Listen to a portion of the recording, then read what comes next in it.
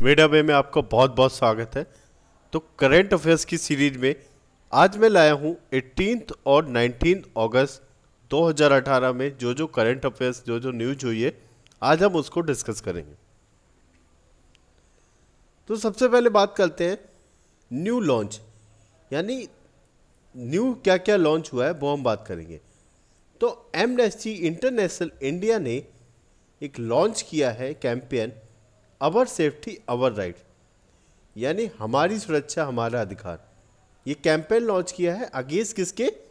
Child sexual abuse abuse जो होता है मतलब जो छोटे बच्चे हैं, उनके खिलाफ जो सेक्सुअल एब्यूज होता है, उनके अगेंस्ट में ये कैंपेन निकाला गया है। निकाला जाएगा। The campaign will attain apex on the international day of the girl child यानी ये अटेन कब होगा हमारा? 11 अक्टूबर, यानी किसके दिन होगा?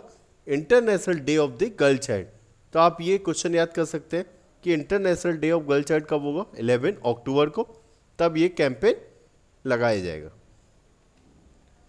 इसके बाद हम बात करते हैं 19 अगस्त 2018 में pension fund regulatory development authority ने एक स्टैंडिंग कमेटी लॉन्च की है, जो सजेस्ट करेगी steep to deal with cyber security and challenges actually कभी कभी प्रॉब्लम क्या होती है? कुछ हमारे पास फेक मैसेजेस आ जाते हैं। कुछ हमारा पासवर्ड है बैंक का डिटेल्स वगैरह कॉल आ जाती है। तो उससे सारे ज़ीरो से निपटने के लिए एक कमेटी बनाई गई है। किसने बनाई है वो? Pension fund regulatory development authority P F R D A तो ये क्वेश्चन आ सकता है। P F R D A क्या है? Pension fund and regulatory development authority इसे लॉन्च किया है एक कमेटी किसके लिए? सजेस्ट करने के लिए। ऑब्जेक्टिव क्या है? To protect the interest of subscriber यानी जो इसके सब्सक्राइबर्स हैं पेंशंस के लिए जो पा रहे हैं, उनके इंटरेस्ट को सेव करना प्रोटेक्ट करना। इसके बाद बात करते हैं on August 19 all India financial inclusion survey release by NABARD यानी नाबार्ड के द्वारा एक सर्वे रिलीज़ किया गया है। क्या है survey? Financial inclusion survey according to this survey 88 percent of rural household है बैंक अकाउंट यानी 88 परसेंट लोग जो रूरल में हैं, उनके पास बैंक अकाउंट्स हैं। और उन 88 परसेंट के 24 percent only uses ATM service at least once in the three month यानी उन अट्ठासी प्रतिशत के 24 परसेंट लोग ही तीन महीनों में कम से कम एक बार एटीएम सर्विस यूज़ करते हैं। ये सर्वे किसने लॉन्च किया है? नाबार्ड ने। किसके लिए? फाइनेंशियल इंक्लूजन के लिए। अब बात करते हैं, पंजाब मिनिस्टर ने अनाउंस किया है कि पंजाब पहला स्टेट हो चुका है जिसने एक मोबाइल ऐप लॉन्च किया है। किसके लिए? आई हरियाली नाम का एक मोबाइल ऐप लॉन्च किया है। आप ये पिक्चर में भी देख सकते हैं। इस तरह का ऐप लॉन्च किया है। जो आपको सप्लाई करेगा, फ्री सैपलिंग। मतलब आपको सप्लाई करेगा फ्री में पेड़ पौधे लगाने के लिए, ये आपको सप्लाई करेगा। और अभी तक ये तेरह लाख सैपलिंग, यानी तेरह लाख पौधे लोगों तक सप्लाई कर चुका है। तो इस तरह क्वेश्चन आ सकता है। कि ये पहला स्टेट बताइए जिसने सप्लाई फ्री सैपलिंग के लिए एक ऐप लॉन्च किया है। उस ऐप का नाम क्या है? आई हरियाली। और स्टेट कौन है? पंजाब। इसके बाद बात करते हैं। इंडिया है successful successfully test fired indigenously design and developed long range precision guided anti airfield bomb यानी इंडिया ने एंटी एयरफील्ड बॉम्ब का टेस्ट किया हुआ है। जो कि एयर इंडिया फोर्स के इंडियन एयरफोर्स के एयरक्राफ्ट द्वारा ड्रॉप किया गया था। सबसे पहले तो the smart anti airfield weapon system was successfully tested सबसे पहले टेस्टेड कहाँ पे हुआ था ये?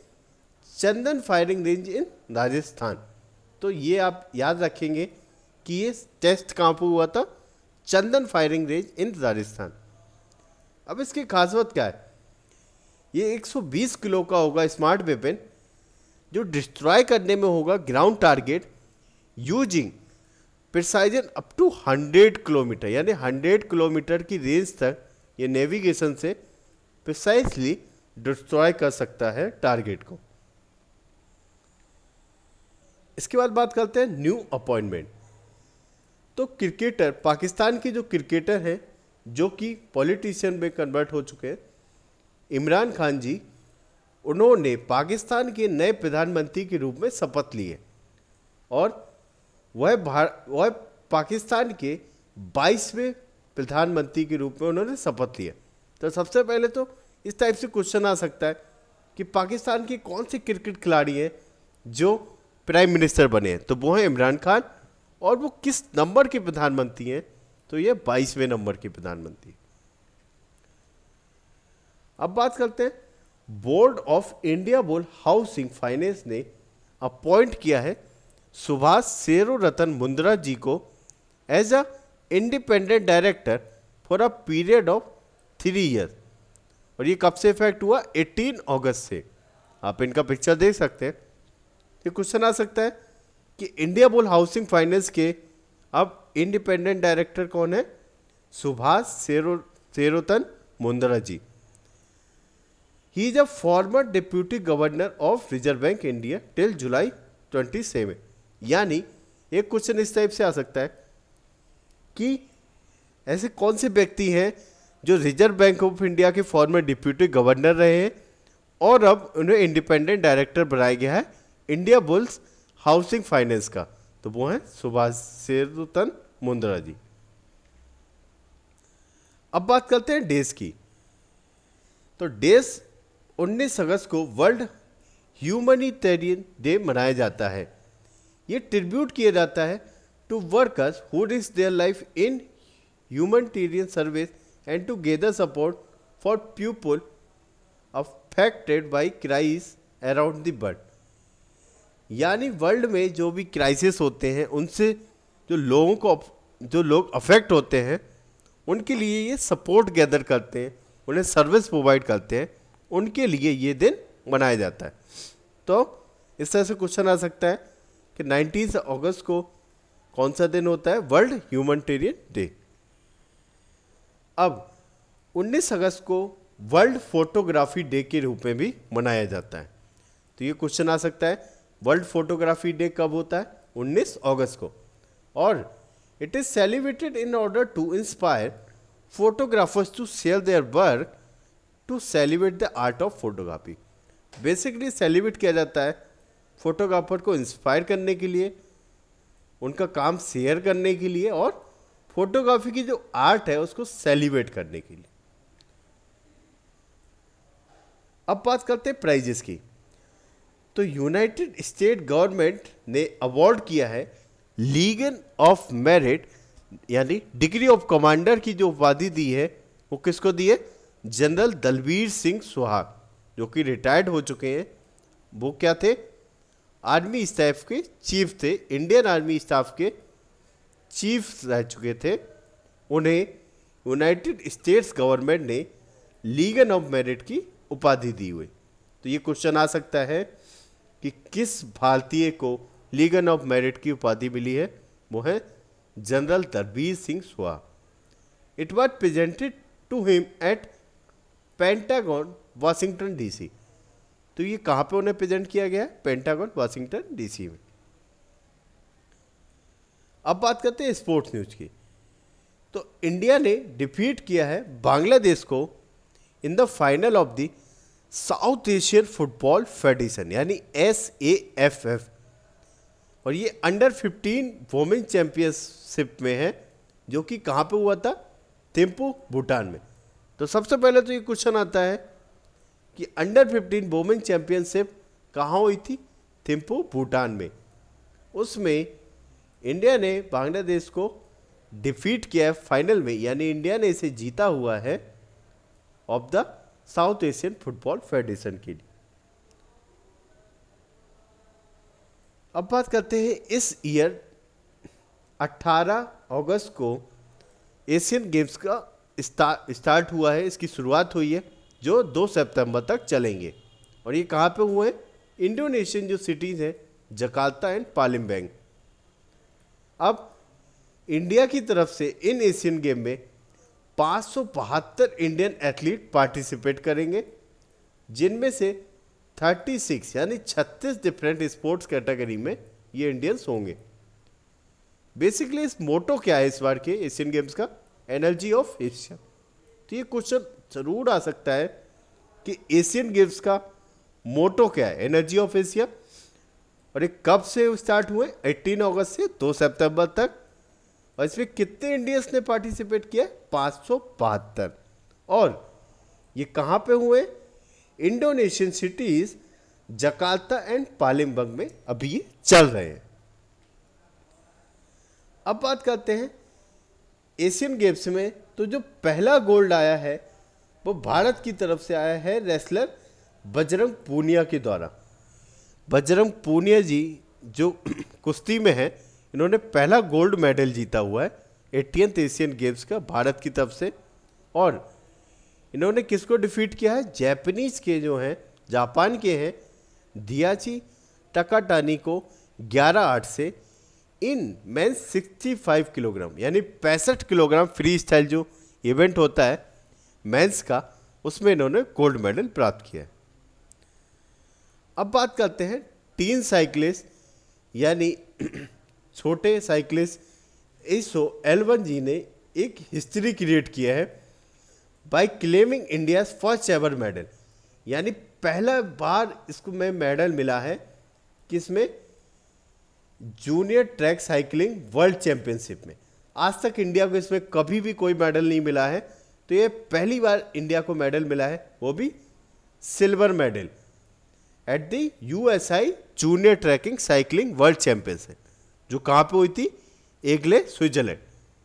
तो सबसे पहले तो क्वेश्चन आ सकता है कि ये जूनियर ट्रैक साइकिलिंग कहाँ पे हुई थी? स्विट्जरलैंड में, एगले, स्विट्जरलैंड में और इसमें इंडिया ने कौन सा मेडल? Silver medal. पहली बार जीता है। और किसने जीता है? ये सो एलवन ने। जो सत्रह साल के छोटे से लड़के हैं, जो कि कहाँ से बिलोंग करते हैं? अंडमान एंड निकोबार से। अब बात करते हैं। New Delhi has been granted hosting rights of combined ISSF, यानी इंटरनेशनल शूटिंग स्पोर्ट फेडरेशन। जो वर्ल्ड कप है, टोक्यो एक्चुअली क्या है? 2020 में टोक्यो ओलंपिक होने से पहले वर्ल्ड कप होंगे, जो कि कहाँ होंगे? न्यू दिल्ली में। ये वर्ल्ड कप किसके होंगे? The combined I S S F यानी इंटरनेशनल शूटिंग स्पोर्ट फेडरेशन तो न्यू दिल्ली को इसका ग्रांटेड मिल चुका है। ये वर्ल्ड कप कराने का इन्हें राइट्स मिल गया है। 2020 टोक्यो ओलंपिक के पहले। अब बात करते हैं डैश की।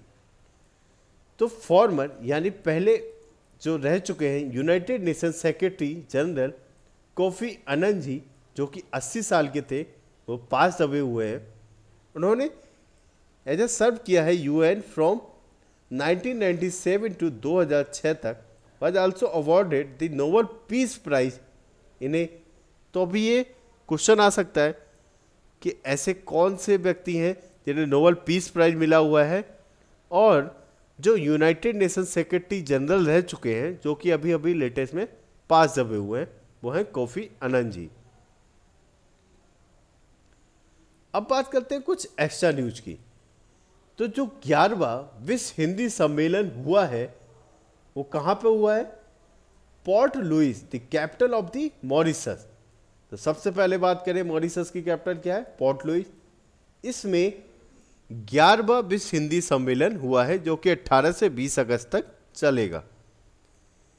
इसमें डेलीगेट्स होंगे 20 देशों के इसमें डेलीगेट्स होंगे, इसमें इंडिया भी पार्टिसिपेट करेगा। टू, इसमें डेलीबरेट करेंगे वो एट सब टॉपिक्स हैं related to Hindi world and Indian culture. यानी हिंदी का जो वर्ल्ड है, जो विश्व है, और भारत का जो कल्चर है वो आठ सब टॉपिक्स में डिवाइड करके उन पर डेलीबरेट होगा, जिसमें 20 कंट्रीज़ भाग लेंगी। तो इस तरीके से क्वेश्चन आ सकता है कि ग्यारहवा विश्व हिंदी सम्मेलन कहाँ हुआ है? Port Louis the capital of Mauritius अब बात करते हैं कुछ रोचक बात। हीलियम जो कि हमारे जो टेबल होती है केमिस्ट्री में, उसमें हीलियम दूसरा, इसका एटॉमिक नंबर दो है। इसको डेढ़ सौ साल कंप्लीट हो चुके हैं जब से इसकी डिस्कवरी हुई है। हीलियम एक गैस की तरह ट्रीट होता है, जो कि गुब्बारों में भरी जाती है। ये सबसे पहले डिस्कवर्ड हुई थी 18 अगस्त अठारह में। किसके द्वारा? By France astronomer Jules Janssen along with Norman Lockyer तो किस गैस को 150 साल हो चुके हैं डिस्कवरी से? हीलियम गैस को। अब बात करते हैं पिच ब्लैक पिच ब्लैक क्या है? अब by Indian multinational large force employment warfare exercise है, जो कि किसके द्वारा होस्ट की जाती है? Royal Australian air force R A F in Australia. तो ये ऑस्ट्रेलिया द्वारा ये पिच ब्लैक करके एक एयर एक्सरसाइज है, जो वॉरफेयर एक्सरसाइज है, वो इम्प्लीमेंट की जाती है।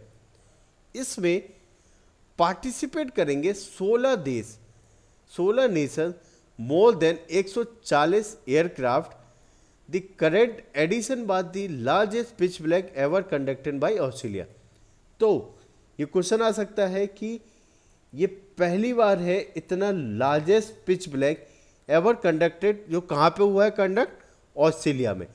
तो अभी तक का सबसे लार्जेस्ट पिच ब्लैक कहाँ पे हुआ है? ऑस्ट्रेलिया में कंडक्ट हुआ है. जिसमें 16 देशों ने भाग लिया है। अब बात करते हैं international conference on recent advance in food processing technology यानी I C R A F P T international conference on recent advance in food processing technology जो कहाँ पे हुई है? आई ए एफ़ टी थंजावोर में। बेसिकली इसकी थीम क्या थी कॉन्फ्रेंस की? तो doubling farmers income through food processing यानी जो फ़ूड प्रोसेसिंग है, उसके द्वारा जो किसान है, उनकी इनकम को डबल करना। The conference provide a strong platform for knowledge sharing meaning for delegation among industry academia researcher and farmer यानी ये कॉन्फ्रेंस प्रोवाइड हुई है, किसके लिए? A strong platform for knowledge share की गई है मीनिंगफुल डेलीगेशन एमंग इंडस्ट्रीज़ है। एकेडमिया है रिसर्चर एंड फार्मर्स के बीच में जो भी नॉलेज शेयर की गई उसके लिए एक प्लेटफॉर्म बनाया जाएगा। या इन्हें थीम रखी हुई है doubling farmer income through food processing तो इस टाइप से क्वेश्चन आ सकता है कि जो आई क्राफ्ट है, इसकी थीम क्या है? Doubling farmers income through food processing thank you guys for watching this मेडा वे के साथ जुड़े रहिए आप हमें कमेंट के फॉर्म में ज़रूर बताइए कि आपको ये वीडियो कैसा लगा आप इसमें कोई और नया ऐड करना चाहें तो आप मोस्ट वेलकम है हमें बताने के लिए मेडा वे के साथ जुड़े रहिए इस वीडियो को लाइक कीजिए सब्सक्राइब कीजिए धन्यवाद